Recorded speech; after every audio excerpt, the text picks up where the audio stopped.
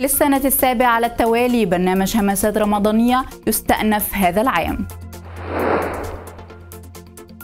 النمسا تخصص 250 مليون يورو مساعدات ضد ارتفاع الإيجارات. رغم العقوبات 91% من الشركات الغربية تعمل في روسيا.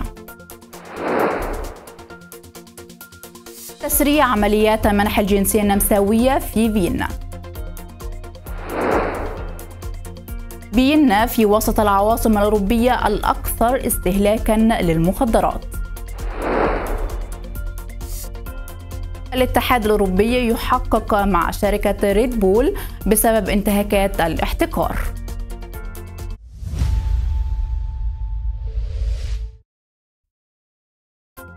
مرحبا بكم في نشرة الأخبار على النمسا ميديا لهذا اليوم وكل عام وأنتم بكل خير بحلول شهر رمضان المبارك. أعده الله علينا وعليكم باليمن والبركات. يستأنف برنامج همسات رمضانية بثه للسنة السابعة على التوالي ويعود إليكم في رمضان لهذا العام 2023 ويبث البرنامج يوميا قبل وقت الإفطار بعشرين دقيقة تقريبا بعدد من الأذكار والتلاوات ويرفع فيه أذان المغرب حسب توقيت مدينة فيينا المعتمد. وننوه بأن البرنامج سيبث حصرا عبر الموقع الرسمي Infograt dot com وقناة اليوتيوب الرسمية وسيتم مشاركته على معرفات النمسا ميديا الرسمية. لذلك يستحسن الاشتراك المجاني في القناة حتى تصلك الإشارات يوميا. ثم الصحب صلى الله عليه صلى الله عليه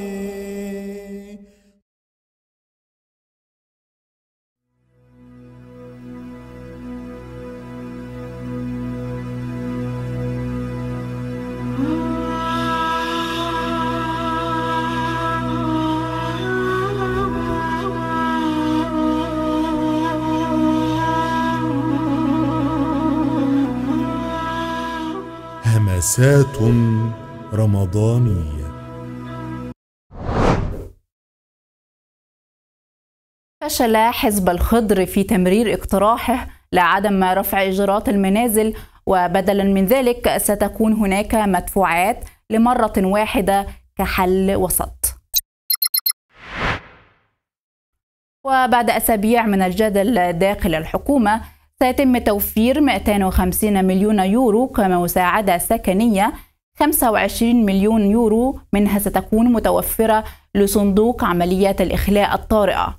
وبالتالي فإن مستأجري المباني القديمة سيواجهون قريبا زيادة بنسبة 8.6% وقال عمدة فيينا لودفيك أن وزير المالية جاهل بسكان فيينا وذلك بعد تصريح الوزير ماغنوس بأن مشكلة الإيجارات مرتبطة بفيينا فقط.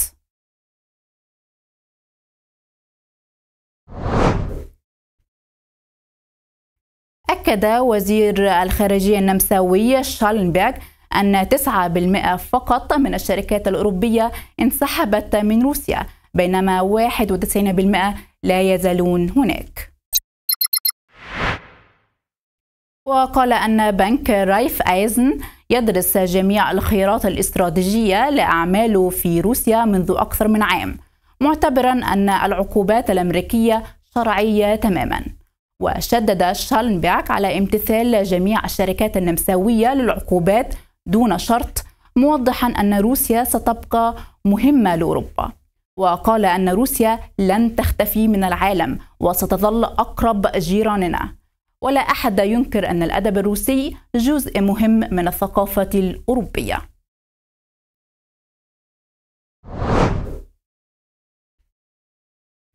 أعلنت دائرة الأجانب في فيينا إم 35 زيادة عدد الموظفين بحوالي 90 موظفا إضافي لتسريع البت في طلبات الجنسية.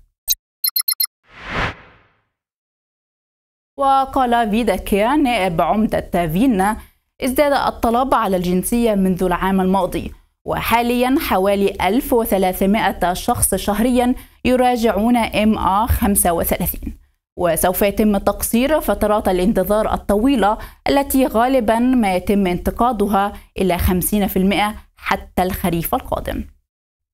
وأكد فيداكيا أن قانون الجنسية يحتاج إلى التحديث والتشديد بشكل عاجل من أجل منع الإجراءات المطولة.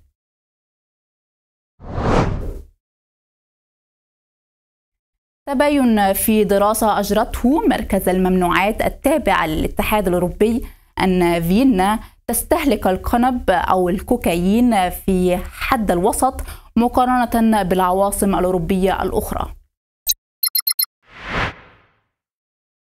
وفحصت دراسة مياه الصرف الصحي على مستوى أوروبا.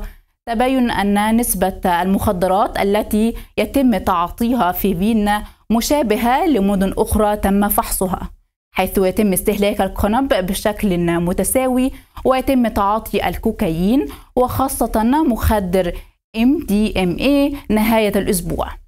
وتأتي فيينا الثالثة بعد كوفشتاين وإنسبروك في التعاطي. وتم فحص مياه الصرف الصحي في 104 مدينة أوروبية.